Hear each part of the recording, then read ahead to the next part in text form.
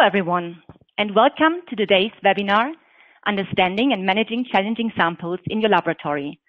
I'm Eva Maria Sohmann, Product Manager for Northern Europe at Ortho Clinical Diagnostics, and I'll be your moderator for today's event. Today's educational webinar is brought to you by LabRoots and sponsored by Ortho Clinical Diagnostics. Assay interferences are a common problem in the laboratory, creating a disconnect between the test results and the clinical reality. Interferences force the lab to investigate, to handle samples as exceptions, which interrupts the workflow and creates a delay in the test results.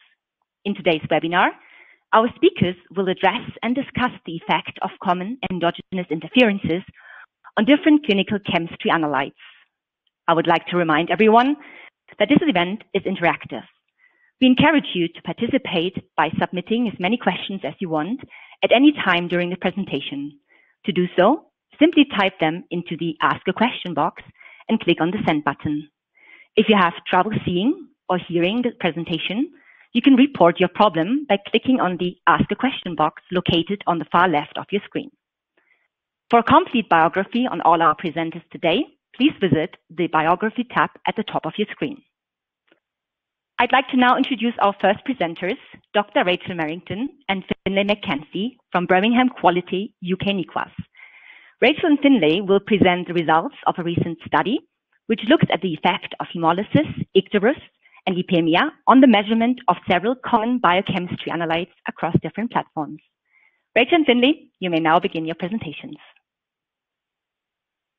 Thank you very much, Eva, and thank you very much to Ortho for inviting us to present our work this afternoon with you.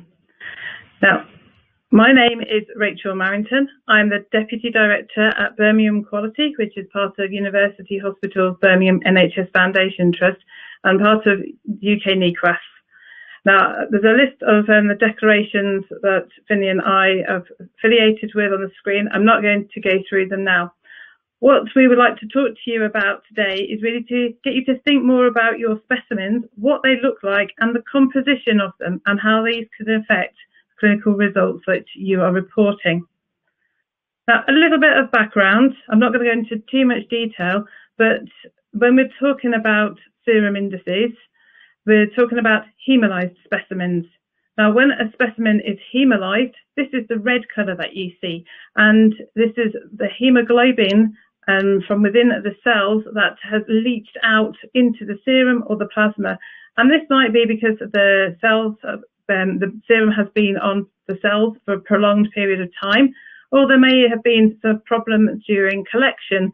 Um, the tourniquet may have been too tight, the wrong gauge needles used. But either way, the contents of the cells, as well as including the hemoglobin, have leaked out and made the serum or plasma red.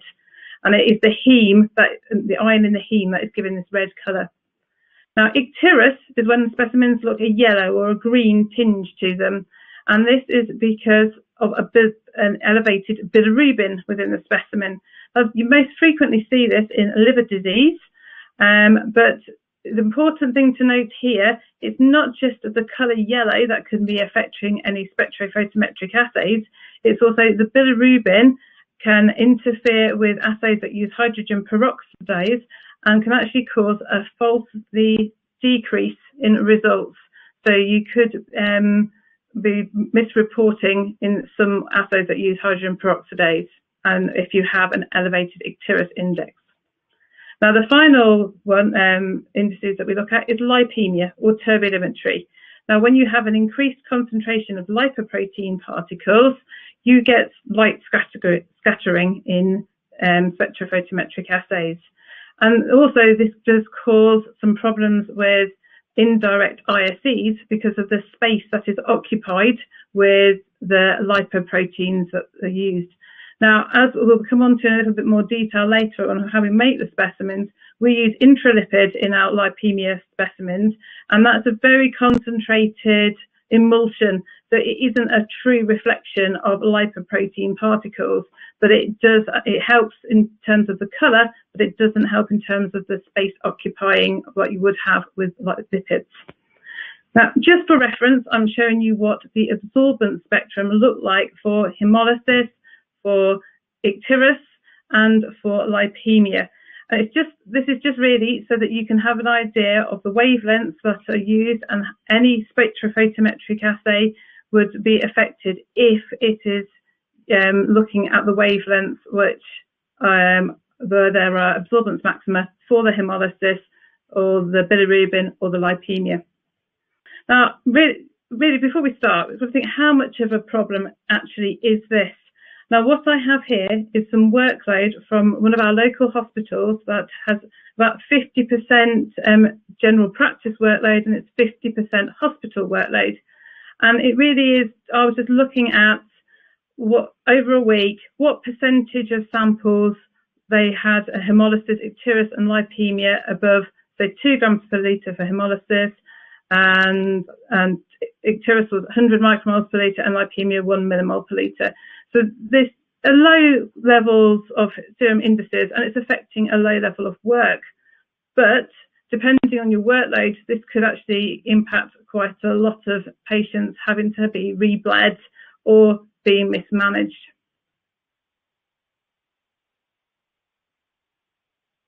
So our UK NEQAS for clinical chemistry scheme is served to approximately 500 or 550 participants. And last year we conducted an audit to actually look to see how many of those participants measure serum indices and whether they measure them only on their chemistry platform or also on their immunoassay platforms. As you see, 97% of our participants do measure serum indices, and 85% of those do measure indices on both their chemistry and immunoassay platforms. Now, what was interesting was 33% of participants apply the same serum indices to other assays using the same sample um, elsewhere in the laboratory. Now, this is really important because what we'll be coming on to in a few minutes is looking at the applicability of uh, indices that have been measured on one platform to other manufacturers' platforms. Now, interestingly, only 13% of participants back in 2019 measured any form of internal quality control on their serum indices. Now, I am the scheme organiser of the UK Serum Indices EQA scheme. This is a scheme that is ISO 17043 accredited and it has been operating since 2017. Now, all of our material is made in-house. It is not commercially sourced. Now, we either distribute material in its native form, so with endogenous hemolysis, um, icterus, and lipemia, or we add in hemolysate, bilirubin, or intralipid. And that is the case for the specimens that we have made for Project Quibble, which Finlay will be discussing later. Now, we distribute three specimens monthly for analysis of hemolysis, icterus, and lipemia. And we also have something called Analyte X. Now, this is a different analyte every month, and we ask participants to measure this to look at the impact of hemolysis, icterus, and lipemia on the that the, the concentration of that analyte. Now, our scheme can handle indices and categories. We'll only be looking at the indices today, as that is the um, form that also results are produced in. But and our target value that we use is the manufacturer mean. I've just included for reference here the scheme units that we use. We know that many different participants report, so now we'll analyse and report in different scheme units to this, but that, this is what the data will be shown in. Now, if we first look at the hemolysis index, this is one of our classic um, scheme report, report designs for our schemes. We have three specimens that have been distributed, and it's a recent distribution. And on this occasion, all the specimens had some degree of hemolysis, the specimen B has some bilirubin added and specimen C has some intralipid added as well. You can see from the histogram how um, the different participants have performed. There's more detailed information um, in the table on the left. And you can see that this participant has done very well. They've got a green traffic light against all of their results. But what is probably more important is actually looking to see how hemolysis um, compares between the manufacturers, especially if you are going to be moving your um, samples between different platforms. And on this graph, it's all the data that we have collected over the last three years and looking at the hemolysis index for the different manufacturers and we're comparing it to the Roche um, hemolysis index. Now, I want to be very clear, we're not saying that Roche is the correct um, result, it's the target value.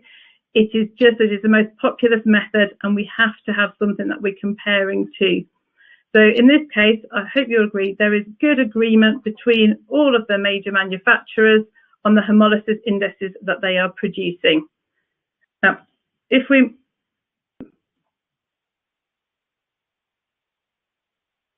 if we move on to Icterus, um, once again, it's a similar graph. I'm not showing you the report format on this. This is just looking at the data from the last three years you will see at first sight, you might say there's not good agreement between all the manufacturers.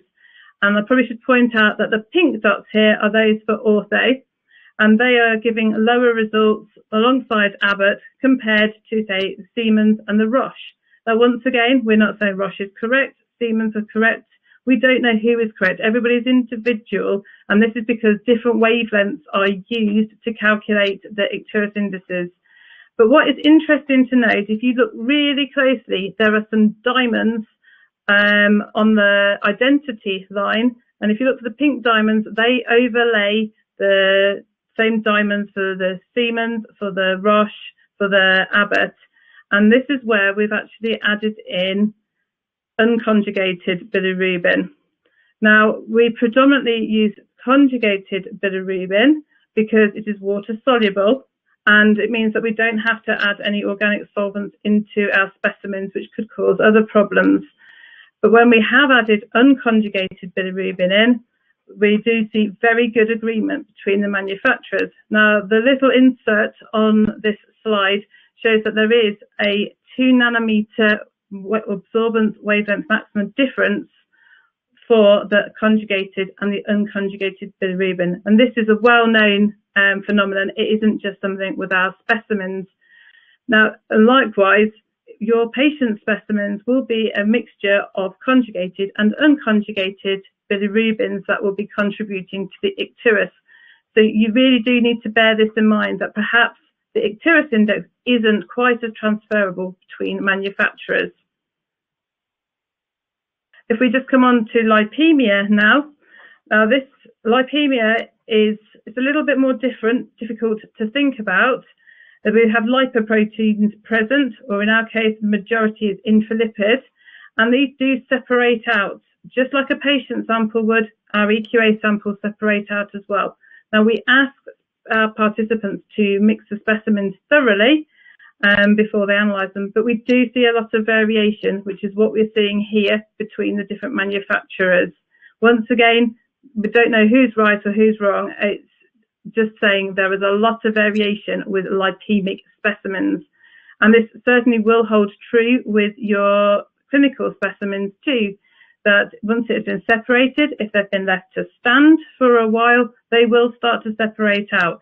So if you go and then analyze them, the lipemic index that you originally measured will not reflect the aliquotter sample that you've taken for analysis if they have separated. Now, just finally, before we move on to Project Quibble, I want to quickly show you Analyte X. Now, using the same distribution that I showed earlier, this happens to be total protein. The picture on the right-hand side are the, is a uh, picture of the three specimens we actually sent out. I think you'll agree, they just look red. They all look the same degree of red. And from the naked, from the eye, you, you can't actually tell there's any difference. Now, I haven't gone through the report, but there were differences that the um, icterus was detected and lipemia was detected. But if you just look at the histograms, it's the same axis of on the x-axis. You just need to look at the spread of the data. there's no need to actually look at the individual methods on this. You can see all participants, there has been a change as the specimen has gone from just being hemolyzed to slightly icteric, and this is a very low level, which you would could normally get, and to being slightly lipemic, you're getting a big difference in the total protein result. Now, I'm not going to make any further comments on that, but I'm just going to move on to my final slide now before handing over. And it's we also ask participants whether they would report that result based on the indices that they have seen. Now, all I want you to gain from this is that there are three specimens that had three very different serum indices, but the different specimens look the same. There's a, there are pie charts, which the green is would you report it? Yes. The red is would you report it? No. They look the same. Every participant would have reported the specimens the same, really, um, whether they were going to report them, yes or no. But as I showed, if you remember from the previous slide, there was a big difference in the total proteins seen between the specimens. So I'm just going to leave you with that, and then um, Finlay is going to go into more detail with Project Quibble for you in a minute. Thank you.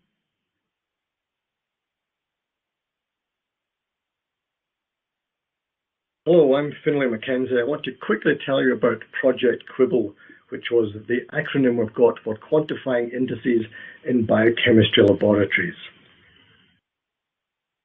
The objective of this little project was to investigate the impact of different concentrations of HIL indices on a number of clinical chemistry analytes across a lot or all across a, a range of major diagnostic manufacturers platforms at the same time. So it wasn't just ortho analyzers we were looking at, we were looking at the, all of the major players. Now, this study was taken in the last quarter of 2020, and it's key to note that this was not an EQA scheme, it was a one-off snapshot of where we were. Now, what we did, we covered a range of clinical chemistry and cardiac analytes, and then at the same time we looked at some endocrinology and inflammation. But essentially, we're talking about 39 different analytes and for each of those 39 analytes, we were looking at hemolysis, icterus, and lipemia. So we've got about 120 different graphs and tables I could show you. I'm not going to show you all today, but I'm going to touch on some some key examples of the type of things we can we can show, and the rest of the data will be available in due course. So what we sent out was uh, 11 different specimens, a base at the beginning and the end, three levels of hemolysis, three levels of, icterus, and three levels of lipemia. And the samples were made in-house by ourselves. And as Rachel had said, the way we make these samples is not to try and get the, the color and the cell contents, but we don't have the the space uh, considerations that you would see in a clinical specimen for, say, measuring a high lipid in an, a direct ISE. We don't cover that. It's really more the, the color and the content we're looking at. So to that end, I'm quickly going to show a few slides that are all in the same format. There's a red part hemolysis, yellow icterus, and the blue for lipemia. This was just looking at the impact of the different the different manufacturers on the uh, the increased values. The scales here are quite generous, so it looks here just to the to the uninitiated. All of the all of the major players do have an issue with the redness that you get with with hemolysis. But I'll pass quickly on to the one that most people consider uh, to be the, the, key analyte when looking at hemolysis in particular, because not only have you got the red color, you've got the leakage of the cell contents. So the potassium levels do rise. They rise because the intracellular potassium is released into the serum.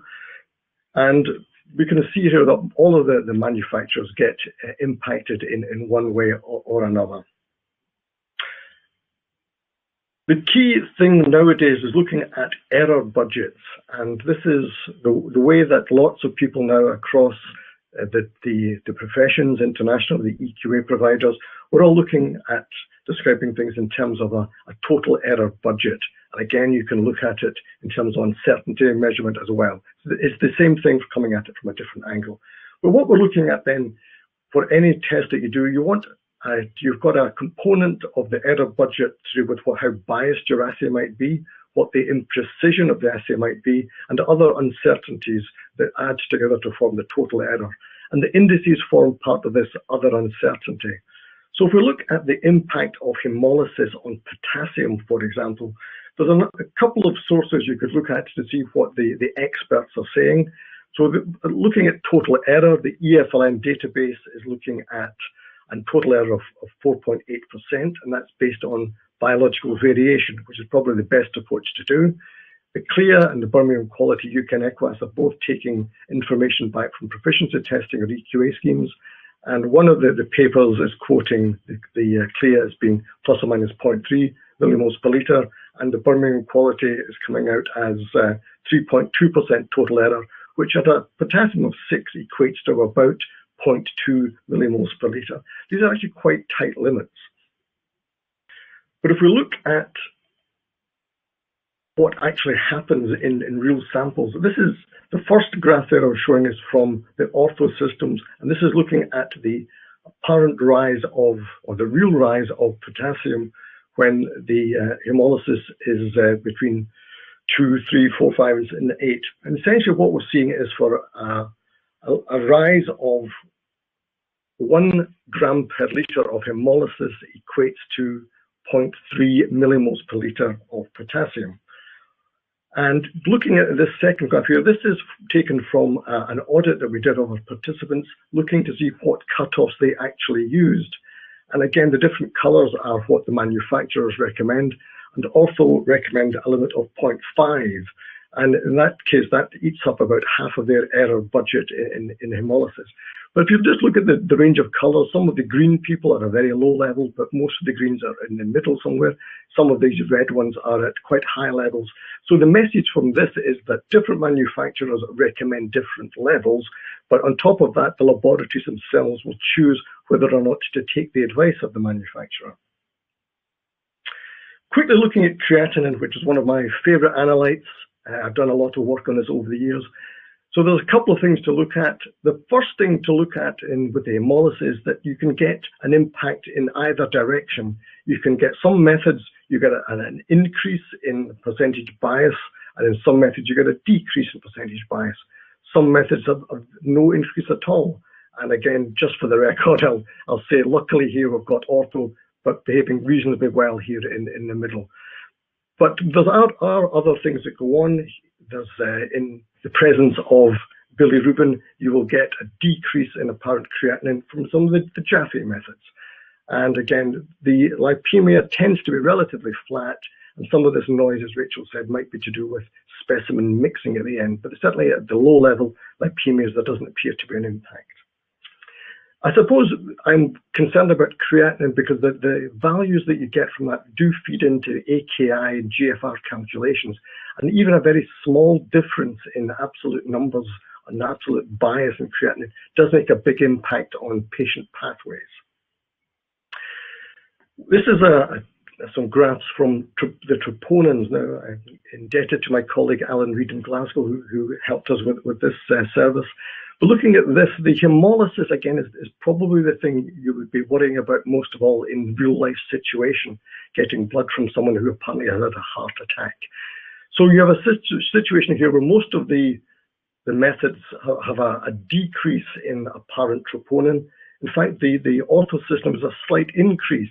And I suppose if you are going to have a, an, an effect, perhaps the, the more fail-safe system would be to have a slight positive rather than uh, missing things with a, a slight unmarked negative. And again, just for the record, these are the, the different um, troponins, high sensitivity troponins, and the troponin I and the troponin T. As we know, that's a single manufacturer.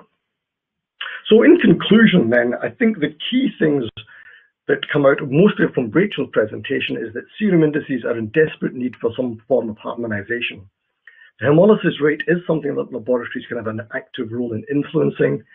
You, there will be in vivo hemolysis, which you can't do anything about, but most of the things to do with transport, timing, separation of samples, that is something a laboratory should be, should be having an active role in doing. Serum Indices scheme looks at what's going on and it really has fed in a hell of a lot of good information into the, the evidence base to see where we are with these, uh, with these assays.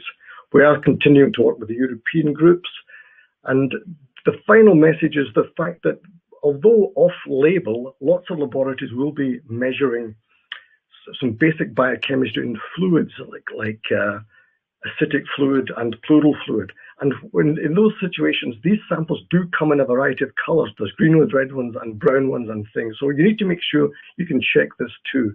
So the conclusion is it's a big problem for us and we're getting a good handle on it now. And something like the UK NEQAS or HIL indices helps a long way in this. Thank you. Thank you both for this great presentation. I'd like to now introduce our next speaker, Natalie Mullee, Principal Clinical Scientist at the Royal Marsden NHS Foundation Trust. Natalie will talk about the electrolyte exclusion effect and the advantages of using direct ion selective electrode-based technology and its importance when analyzing samples from cancer patients. Natalie, the floor is yours. Thank you very much, Eva. Um, good afternoon, everybody. My name is Natalie Mullee, and as Eva said, I'm a, a principal clinical biochemist at the Royal Marsden NHS Foundation Trust Hospital.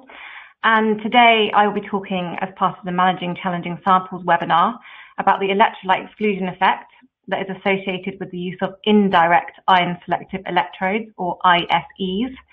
And then I will go on to talk a little bit about the use of direct ISEs and how their use benefits us and our patient population here at the Royal Marsden. So I will just start off by giving a little bit of background about both our hospital and our biochemistry service. So the Royal Marsden is a specialist cancer hospital and we treat over 59,000 NHS and private patients each year. Uh, we cover a range of oncological conditions and we actually have dedicated um, units for all cancer types.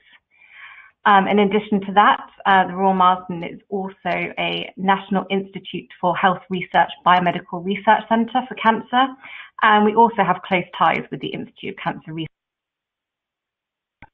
The trust itself uh, currently operates across three locations. There's two main sites. Uh, these are Chelsea and London, and there's another site uh, in Sutton in Surrey. And a few weeks ago, we recently opened up a third site, which is a, a new pri private treatment and diagnostic centre in central London. And across those three sites, we have we actually have a dedicated biochemistry laboratory service on each of those three sites. In terms of our equipment that we have across these three sites, we have four Vitros 5600 analyzers. Two of these are located at the Sutton site and two of these over at the Chelsea site. And we do predominantly dry slide chemistry and also immunoassay on these analyzers.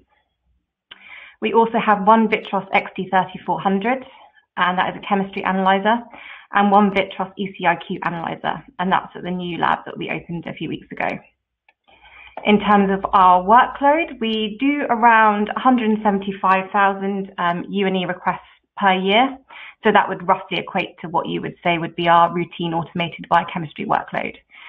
So compared to larger labs with um, a large GP population and workload, that might not sound like a lot.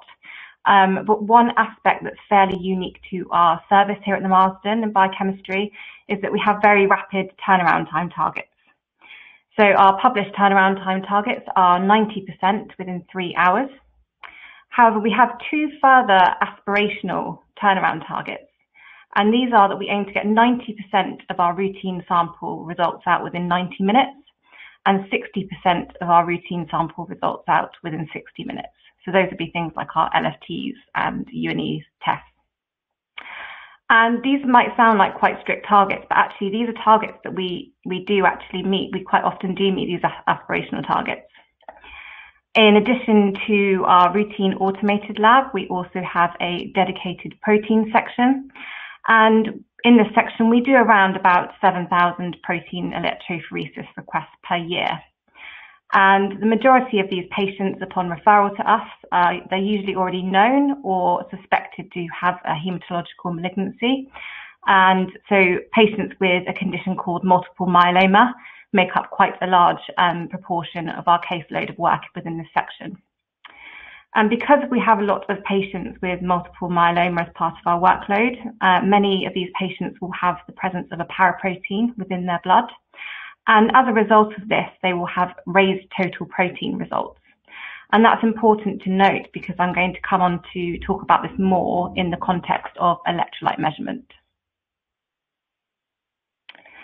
So in terms of measuring electrolytes in the laboratory, most high throughput labs will measure sodium and potassium. uh, routinely using ion selective electrodes or ISEs. There are two types of ISEs that are commonly used. Um, these are direct ISEs and these use undiluted sample of the electrode surface. And the other type um, of ISEs that are commonly used are indirect ISEs. And these use samples which have been diluted using a suitable buffer prior to analysis. So when we are thinking about sodium, we know that it's the predominant cation in the extracellular fluid. And we know that its main function is involved in the maintenance of fluid and electrolyte homeostasis. Um, the reference range will vary very slightly um, depending on the method you use and the, the, patient population that you have, but it's usually around 135 to 145 millimoles per litre. And hyponatremia, which we would define as a sodium of less than 135 millimoles per litre, is the commonly, most commonly seen electrolyte disorder, and particularly within hospital inpatients. And when we are considering the investigation of hyponatremia or a low sodium, the method of measurement with consideration to direct and indirect ISEs is an important factor in the differential diagnosis. The underlying cause of hyponatremia, as you will see from the algorithm that I've put on this slide, is commonly investigated by both assessing the fluid status of the patient and then putting that into context of the plasma and urine sodium measurements and osmolality. Additionally, as part of this investigation, at the top of the tree on the left-hand side, it's important to also initially exclude spurious causes of low sodium. And this occurs due to analytical error secondary to either raised lipids or raised proteins. And that can result in the electrolyte exclusion effect, which I will come on to talk about now. So the electrolyte exclusion effect results in pseudohyponatremia, aka a falsely low or falsely normal sodium measurement. So essentially it's an underestimate of what the true sodium result would actually be. And the typical pattern would be, we would see in this case, you would have a low measured plasma or serum sodium result, but the osmolality measurement would be what you would say would be normal or, isoosmolar, um, and that would be around 275 to 295 milliosmoles per kilogram. And the electrolyte exclusion effect is an analytical phenomena, and that occurs with electrolyte measurement with indirect ISEs specifically. And the reason this happens is because prior to analysis, the sample undergoes a dilution step. And in doing so, there is an assumption that is made that the plasma is approximately 93% water and the electrolytes are present within that aqueous phase and about 7% solids. So that would be your proteins and your lipids. However, some patient samples actually have increased proteins or lipids. And so because of this, a fraction of that aqueous space is replaced. And so that assumption that the plasma is 93% water actually no longer holds true. And this schematic that I've put up here is used to illustrate how the use of indirect ISEs can result in the electrolyte exclusion effect and therefore pseudohyponatremia. So there's two tubes here and the sodium concentration in both tubes is actually normal at 140 millimoles per litre. But the tube on the left-hand side represents a normal sample with the typical proportions of the solid and plasma water phases. So that would be the 93% aqueous and the 7% non-aqueous phases. But on the right-hand side, you can see that the tube has a higher percentage of solid phase, as would be seen in hyperlipidemia or hyperproteinemia. When indirect ISEs are are measured before they are measured, they undergo dilution. So in this example, I've I've put that they've undergone a 1 in 10 dilution by the automated analyzer. And so what happens is in the right hand side tube, the sodium per litre of total plasma is lower. And so the dilution leads to an underestimate of the sodium that is measured after the dilution step. And so in the example that I've put up here, what we actually end up with is a measurement of 112 millimoles per litre. Um, if you if you suspect or a falsely low sodium result, um, what you can do is you can um, overcome this and you can get a more accurate result by measuring sodium using a direct ISE method. And this can either be a blood gas analyzer or alternatively an automated analyzer which uses a direct ISE method. And that's what we use at, um, at the Royal Marsden. We use the ortho um, slide. And this um, excludes pseudohyponatremia because there is no dilution step prior to analysis. On this slide, you can see um, a schematic of what the um, direct ISE method looks like by the Ortho technology. Each slide contains two ISEs or ion selective electrodes, and these contain an ionophore, which is methylmonensin. And also on this slide, you can see there is a reference layer, a silver layer, and a silver chloride layer, which is coated on a polyester support. And how this works is um, some patient sample and some electrolyte reference fluid are applied to the slide on separate halves and fluid migrates towards the center of that paper bridge that you can see, and that forms a stable liquid junction. And that connects the reference electrode to the sample electrode. And then each of those electrodes will produce an electrochemical potential, and that in response to the activity of the sodium, and the potential difference between those two electrodes will be proportional to the sodium concentration in the sample. And as there is no dilution of the sample, this method is not prone to pseudohyponatremia, as you would see with indirect ISE measurements. So use of direct ISE methodology is important in our patient population. As I mentioned earlier, we have a large myeloma caseload. I actually looked um, in our lab uh, system to see how many total proteins um, we requested between March 2019 and March 2020. During that time period, we had approximately 6,000 reported total protein results in that time frame. Around 600 of those were actually above the reference range of 82 grams per litre. That's around 10% of our samples. And our highest um, total protein result during that time period was actually 139 grams per litre. So you can see we do get very high um, total protein results in our patient population.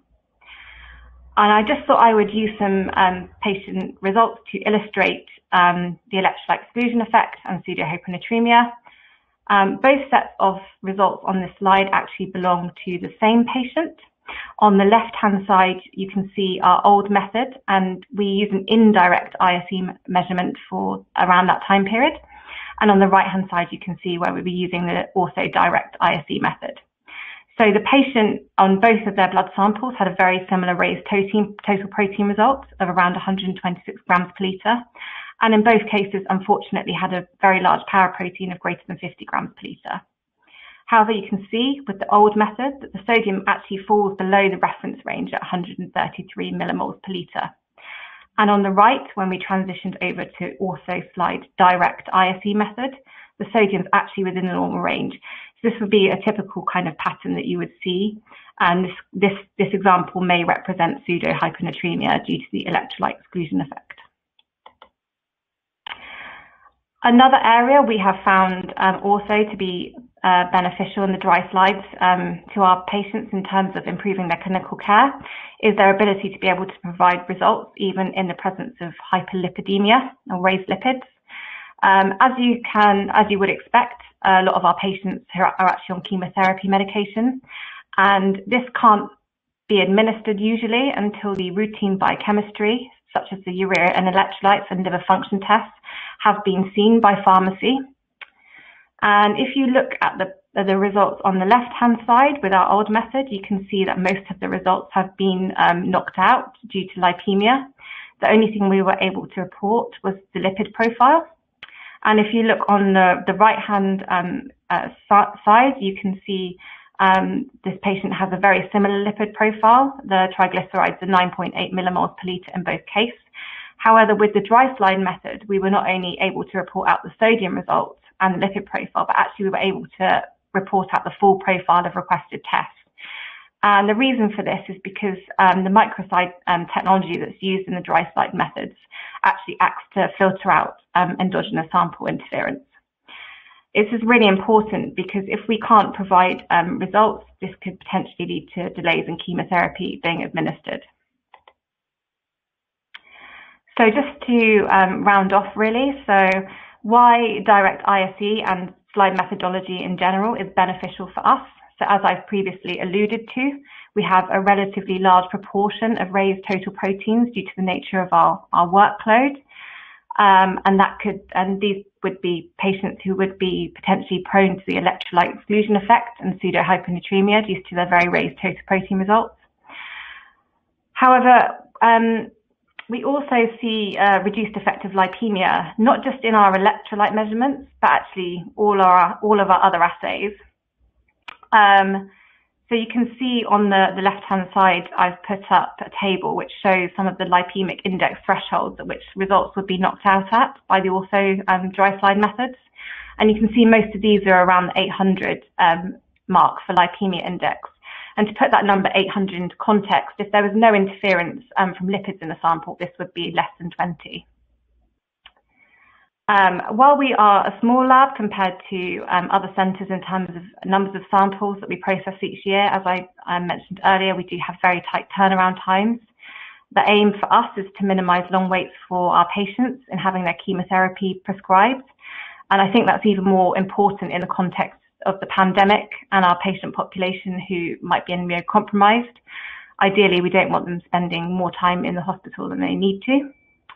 And there are several factors that, that I've mentioned that help us to meet our turnaround times. But one of the, the things that helps us is the stable IQC performance for our ion selective electrode test, so sodium and potassium.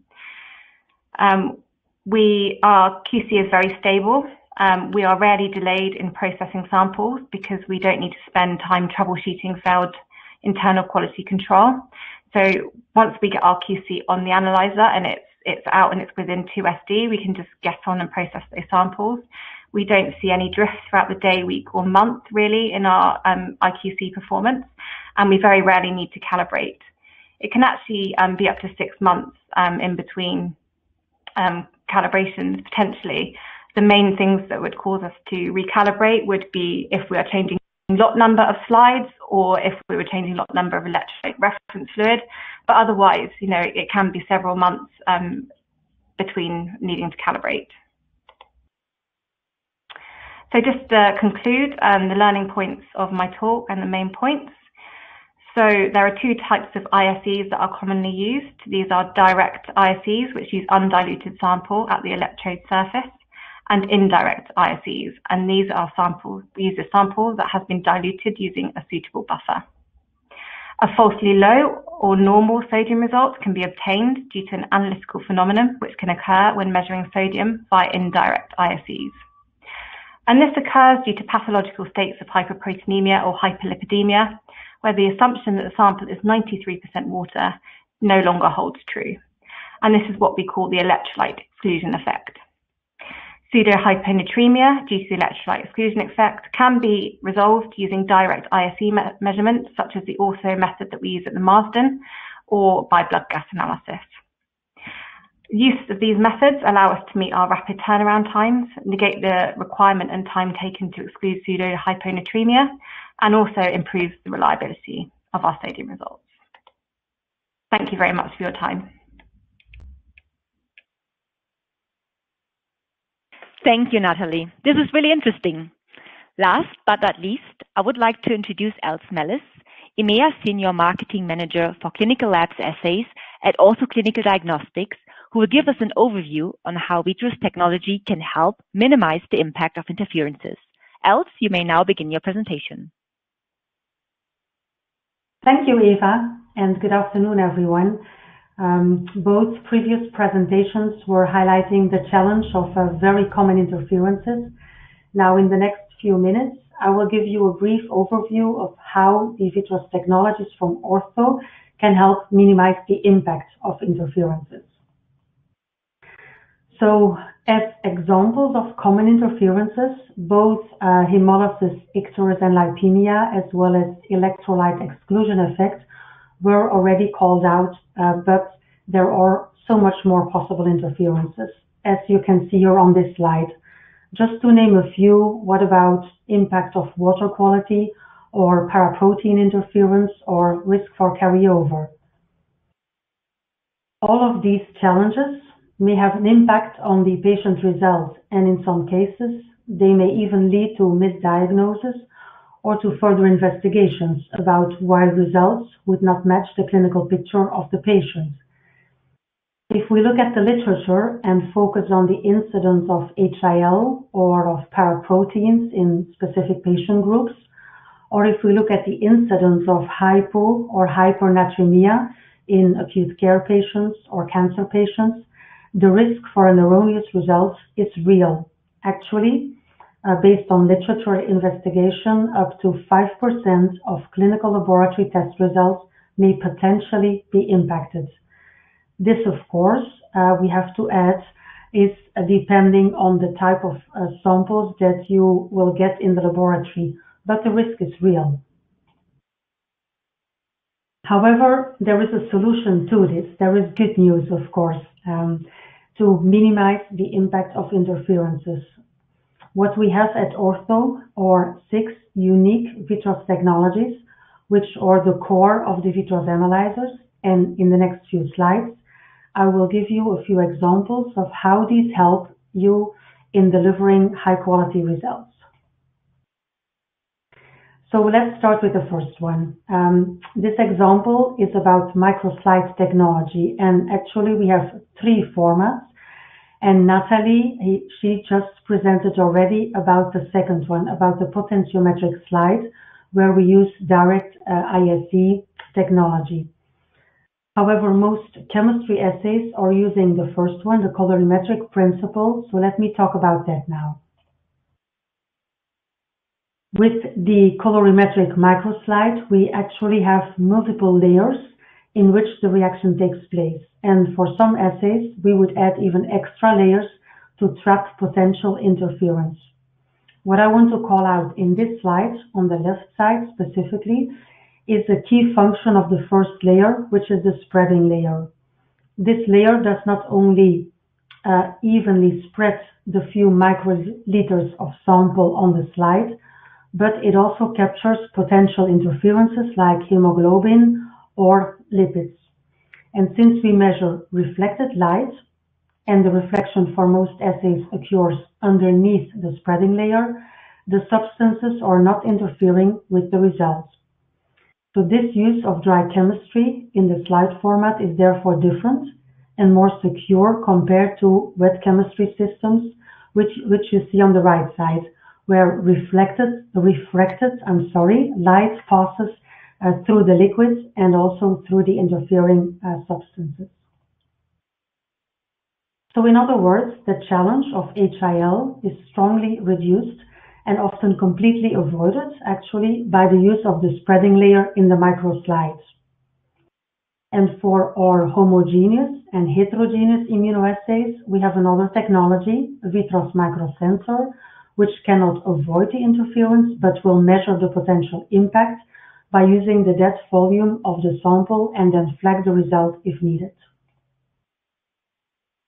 Let's look at another challenge, the potential impact of paraproteins. Many case studies, as you can see some examples listed here, they have been published um, about incorrect results due to paraproteins with wet chemistry. But again here, with the spreading layer, the paraprotein gets captured and does not interfere in the reaction or the reading. Let's look at another challenge, for instance, the impact of bad water quality. Again here, multiple uh, publications are available about the potential impact of impurities in the water, which may lead to false results. And with VITROS, we do not need external water, just all we need is a plug, so no concern about water impurities. And one more example before coming to a close. What about the challenge of bubbles, clots, or carryover? For this, we have the VITROS IntelliCheck technology. And what that does for you is that the aspiration of sample is done through a patented pressure level sensing technology, which would rather report an error when there is a bubble or a clot instead of giving a false result. And finally, thanks to the use of disposable tips, we can also 100% exclude the risk for carryover. So in summary, interferences are a true challenge in the lab, but thanks to the built-in safety checks of the VITROS technologies, we can avoid or strongly minimize the potential impact to the patient's results and deliver high-quality assays. With this, I thank you very much for your attention, and I hand it back over to you, Eva. Thank you. Thank you very much, Els. I would like to open up the floor for questions now. If you have a question you'd like to ask, please do so now. Just click on the Ask a Question box located on the far left of your screen. We'll answer as many of your questions as we have time for today. So let's get started.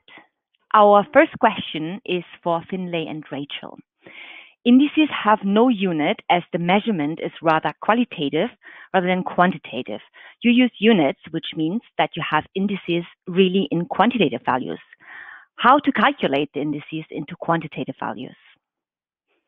Okay, thank you. Um, yes, so we either um, see in the indices as qualitative and they're recorded as a category. Now, I didn't actually show that data in the presentation, but there are a couple of manufacturers that do use categories. So that's like a category one plus two plus three plus, or there is a semi-quantitative indices as what we have shown here. And it's these semi-quantitative indices that are loosely correlated to with, with units and with analytes. So with hemolysis, um, that is loosely correlate, correlated to hemoglobin. And the scheme unit that we use is grams per litre, but different manufacturers will have different units. There's grams per litre, milligrams per decilitre, and micromoles per litre. And we can use conversion factors to go in bet between those uh, with bilirubin and Icterus, that's loosely correlated with bilirubin, and there's a couple of units in use there, um, micromoles per litre and milligrams per decilitre. And for lipemia, this is loosely correlated to a triglyceride concentration, and the units that we have there are millimoles per litre, grams per litre, or milligrams per decilitre. Now, the interesting thing here is the conversion between millimoles per litre and grams per litre is only a factor of about 1.1, 1.2. I can't remember off the top of my head. So they are very similar. Now, I have got a nice slide, which I haven't got to show you at the minute, that all manufacturers have then their customers reporting results in a mixed, not reporting results, but measuring their indices in a mixture of these. And what's really important for you as um, a laboratory user is to know how your instrument has been set up and then your middleware or however, wherever you interpret these units in relation to the test that you're measuring, you have to have the same cutoff values that have been put in. We have known of laboratories that have will be measuring in one unit but applying the hemolysis index from a different unit. So obviously they, they don't, that doesn't work. You need to be in the same units. So thank you for that one. Thank you, Rachel. Thank you. We have another question for Natalie, in fact. Uh, when switching from indirect to direct ISE, percentage-wise, how many more results were you able to report? It's, it's hard to um, to give a, a, firm number on this, but what I would say is um, we we practically never um, knock out or don't report um, urea and electrolytes due to interference from um, lipemia with our current method method because the threshold, um, as I went through in my presentation, is is very high. So it's yeah, it, it doesn't happen in practice where we're not able to report with our current method. Great. Thank you very much, Natalie. Um, we have time for one more question. This is for uh, NEQAS. Could you provide a brief summary on the outcome of the Kibble project as a whole? Uh, anything the audience should be particularly aware of or, or like a takeaway message? Yeah, thank you. Um, so I think this is a very good project. We are indebted to everybody that who contributed to this work. Uh, we have a lot of data and we're still processing the raw data. And but our initial results, our initial review of it shows that on a whole, all manufacturers are affected by indices about hemolysis, icterus, and lipemia to some degree in some of the assays.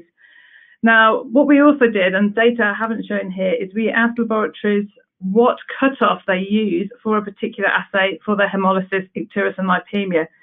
Now, I haven't presented this data, but we know from our routine scheme that there is a wide variation. So I think the main cutoff, um, the main take-home message from this really is that there are such a wide variation in hemolysis icterus and lipemia cutoffs that are being used both with, um, within the different laboratories, different manufacturers. So therefore, this will affect the reporting of patient results in your hospital and the region that you're working in as well. So that is something that I think we, the whole laboratory community needs to take away and look at um, so that there is a better evidence base and a bit better way forward for everybody. Great. Another Thanks thing, for this. Go, go ahead, Finlay. So I was just saying one of the, the messages is that the, the material that we made for the project, it, because of the large volumes we were using, because we were dealing with 100 participants with 40 odd analytes at three different levels of, of each of the indices. So in order to make that material, there, were, there was a few compromises in there. So although I think we, we did mention in our presentation that we certainly saw the impact of the, the, the cell content and the color but we, we didn't, because of the way the specimens were made, we wouldn't show all of the good work that Natalie showed. We wouldn't have that impact on the on the electrolyte results. We also know that some of the some of the findings that we've seen, we've we have managed to reproduce with other materials, but it doesn't always exactly fit in what you see in real life. The troponin data that I showed, although we've seen that uh, on other occasions we've made specimens like this, we think that perhaps the, the VITROS system also shows a, a slight negative bias, whereas on, on, the data we had, it was slightly positive. So there are little caveats around, around the edges, but by and large, the, the message is, is fairly strong, I think. Great. Thank you very much for the good summary. And that concludes today's session. Before we go, I'd like to thank the speakers and audience for joining us today. Questions we did not have time for and those submitted during the on-demand period will be addressed by the speaker via the contact information you provided at the time of registration. Ortho's purpose is to improve and save lives through diagnostics because every test is a life. For more information about Ortho, please visit our website at orthoclinicaldiagnostics.com. You can also view the webinar on demand and LabRoots will alert you via email when it's available for replay. Stay healthy and safe and we're looking forward to seeing you at one of our next webinars. Take care. Bye.